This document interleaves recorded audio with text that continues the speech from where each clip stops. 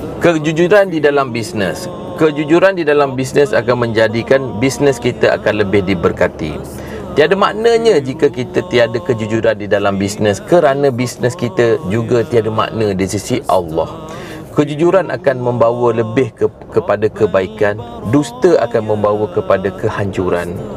Kejujuran akan meningkatkan level kita di sisi Allah dan kejujuran juga akan menjadikan kita lebih dihormati di dalam bisnes dan perniagaan. Dapat tak?